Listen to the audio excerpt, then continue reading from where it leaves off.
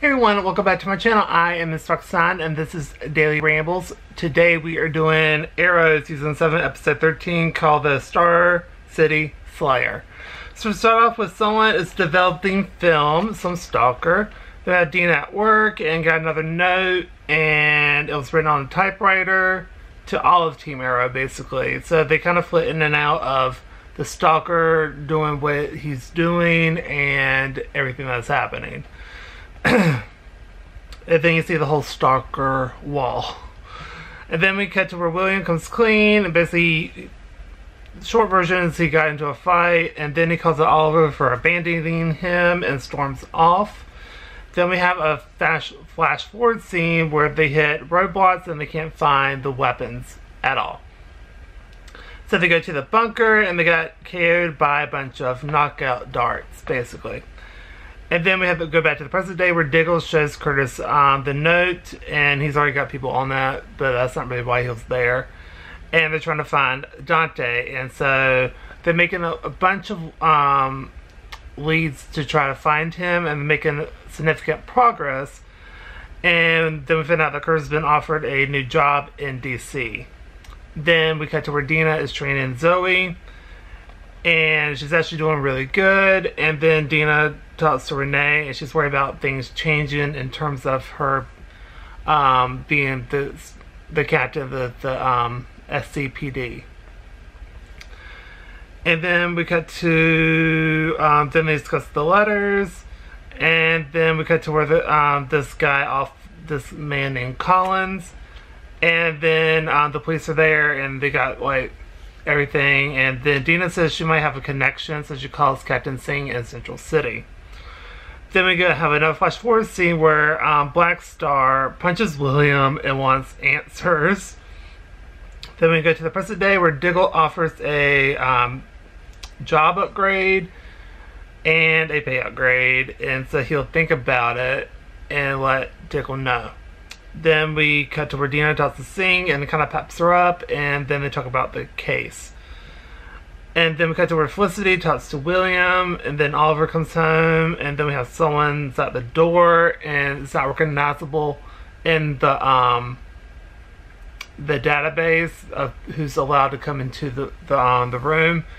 And at first I thought I was like, oh my god, oh my god, it's a bad guy, but it was um, Clayton's um, parents, grandparents, or William's grandparents, the Claytons, sorry. and we found out that William called them. And so the grandparents chew Oliver out, and Oliver gets kind of mad about it because they want to contest everything and make them the legal guardian guardian of William and not Oliver and Felicity. And then gonna go to a flash forward scene where Dinah knows um, who one of the people are, one who one of the people is and that is Connor Hawke. And then we cut to the present day where Oliver gets um, stern with William, and that does not go well at all. And then we cut to where Dinah is bringing everything together. It's starting to put the pieces together, and they uh, tracked up this um, this drug that's supposed to that's causing everything to happen. And it's a creepy house in the Glades and it's hashtag I cannot deal with this mess. I hated that part. And we found out, so basically, um, they open up this closet, has a slab side jacket in there. And I already put two and two together, and it's Oliver's old cellmate. Or prison buddy. Yeah. And so uh, Dinah got slashed, but she'll be okay thanks to Curtis with his new technology that was able to quickly um, patch things up until she could get to the hospital. And then we have Oliver's angry and lashes out and kind of just vents off to Felicity about everything. We have a flash forward scene where Black Star said Felicity is alive, and Zoe doesn't believe that crap and questions William and then we have a huge fight scene and then we end up at a standstill and the fight scenes were incredible in that i really enjoyed that one and then we have the present day where oliver can't move along with the rest that they were eating chili and um, now they can't move. And then, what's the stupid name?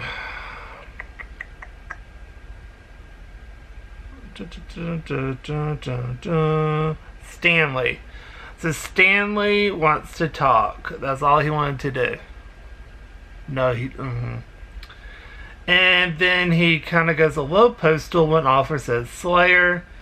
And then he comes down a little bit. Then said people want to hurt him. And basically, he's just lost his mind. He's going off on all these stupid tangents. Like, just crazy, stupid tangents. And basically, we found out that he offed his parents and brother. And he's going on Oliver. Then Felicity really angers him, saying that he's worse than his dad and they start to get a little bit of feeling back because they were paralyzed. And Oliver knocked him out with um, a old, well, with a glass bottle. And then we found out that Oliver is going to be okay. Stanley's going back to Slabside, and then Curtis is going to DC and says goodbye to everyone. And he's going to give his shares of Helix to Felicity. Then Oliver talks to William and lets him choose between going home with him or going with his grandparents, and he chooses his grandparents, saying, I think I'll be a little bit more normal there in Central City. I was like, well, maybe a touch better, but Central City though. And then we cut to a flash forward scene. Oh, then um, when they're saying goodbye, um, when Williamson is going goodbye, uh, Felicity gets a phone call from the doctor, and then we go to a flash forward scene where Black Star is, is Nina Smoak, which is Felicity's daughter and William's half brother. Uh, what? And that's in the episode. So basically, she finds out she's pregnant, and then we go flash forward scene. So, oh snap! So, um, really good episode. I really enjoyed it. I give it a, a minus.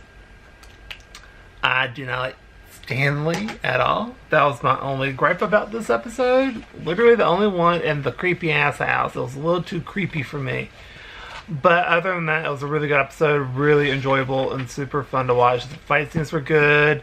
And the whole bombshell, because Emily uh, Rickards, Rickards, I don't know how to pronounce her last name that great, um, made it seem like like she wasn't going to have the baby like until like far, far, far into the future. So that was kind of you know, she knew, she knew. But anyway, it was really good. I really enjoyed it, and that's going to do it for this episode. So if you enjoyed this episode, please go to like, comment down below, tell me what you think. Do you agree, disagree? Just send your thoughts down below and don't forget to subscribe and I'll see you in my next video. Bye everybody.